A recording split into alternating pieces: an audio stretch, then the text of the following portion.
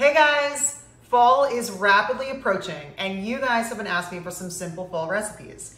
So now at the farmer's market, there's a ton of squash and squash is so easy to make. I love it. So this is a squash that most people don't use. This is a delicata squash. I love this. My family loves it. I have this prepped in the fridge all the time and I'm gonna show you how easy it is because it does look a little scary trying to figure out how to get into this, but I'm gonna show you right now. It's super easy. So what I do is I'll cut the ends off. So it's stable on the, on the cutting board. And then I cut straight down the center. This is how I prepare my acorn squash, butternut squash, most squashes that I use. This is how I do it. I cut off the ends.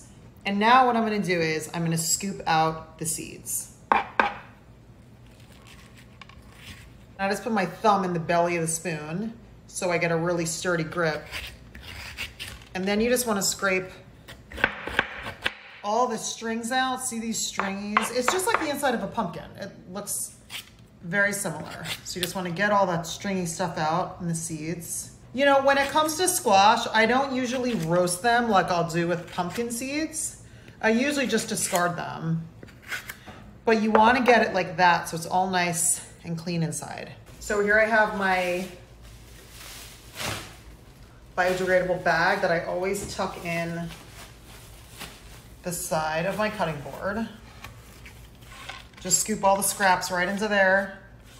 And then later this makes for really easy cleanup. You know, just things that work, you know, making life easier. Okay, great. So now we're gonna do the other side. We're gonna get all the strings and the seeds out. Good grip on the spoon, thumb in the belly. See that? And you gotta use it, you know, you gotta put a little bit of muscle into it. You also gotta not be scared to get a little dirty. Okay, let's scoop the seeds into the MacGyver, the MacGyver scrap bag. Okay, great. So here's an example of one of my delicatas that's carved out and ready to go. So now I'm gonna do the other one. Let's hack into this. And again, watch your fingers. I just place my palm on the top and cut straight down. So next time you see these, just grab one. I mean, they're, they're so good. When you cook them up, they get so beautiful and sweet. And they're like these little half moons, which I'll show you. They're really great for kids. They're great to just, for us, to just throw into a salad. So easy, so versatile. Put all the scraps into our bag here. So with the delicata squash, I think the outside is so beautiful. And a lot of times I'll just slice it and roast it just like this. But sometimes for a little bit of a different look, I like to actually shave a couple of pieces of the skin off. So we're gonna do that right now. So this just kind of gives it a little bit of a different look because when you roast it up, this color will be different from this and it just kind of makes it look really cool. So that's something that I actually learned from a restaurant that I was at. I saw them do this and I'm like, ooh, that's cool because it adds like a different look to it, you know what I mean? So then when it roasts, just that different texture. And because I always have this stuff prepped in my fridge, I love those little, those little kind of changes you can do, you know, to spice it up. So now I'm gonna do that with the rest of them. You can totally not do that at all and just, you know, chop them as is. But I always like a little extra flair. Next thing we're gonna do is we're gonna slice them into little half moons. I usually like them to be about that thick. You know, half an inch to three quarters of an inch. So as you're doing this, you know, tuck your fingers in, watch your fingies. But this is a squash that a lot of people don't use and it's so beautiful. And now is the season to use it. They're so great.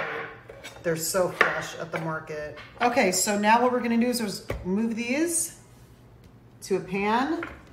My oven is heating up at 350 degrees.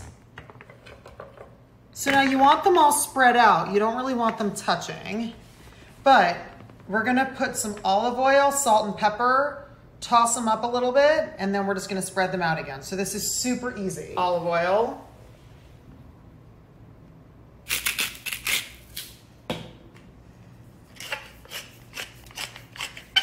So now we're gonna mix it all up. And you really wanna kind of grab the pieces and just massage them a little. You just wanna make sure, see how when they're coated, they're all nice and shiny like that? That's what you want. So just grab them, give them a little, little massage, little TLC. So now we're gonna spread them all out. So now we're gonna throw this in the oven. It's 350 degrees. I'm gonna set a timer for 15 minutes. Usually squash is cooked in about 30, usually, depending on how thick you cut it. So halfway through cooking, you always wanna flip them, toss them a little bit, because as they cook, the bottom will get really golden on the pan. So you wanna flip it so the other side gets nice and golden, and it gets like this kind of like candy coating. They're so good. Okay, let's set a timer for 15 minutes. Okay, great. So this has been cooking for about 15 minutes. So now we're just gonna flip these over.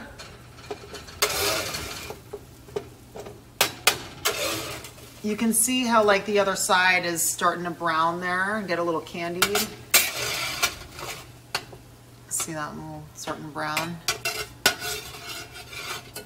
So you just wanna make sure they're all flipped. And obviously be careful, this is hot.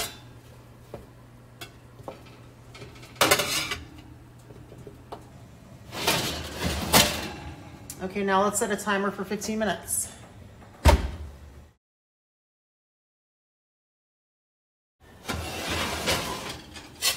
Ooh, that's looking nice. So it's been another 15 minutes and this is looking awesome. Look at that. All that beautiful golden, like candied squash action. This is perfectly cooked. Okay, so I'm gonna kind of mutilate one of these so that you guys can see, but you want it to be soft straight through, right? So now that's totally cooked. Beautiful. Okay, let's take these out. So this is your prepped delicata squash. This stays good in my fridge for like three to four days. I love it throw into salads, snack, as a side. Okay, cool. I hope you guys like this video. Subscribe to my channel and turn on notifications so you know when I put up a new one. And I'll see you guys next time.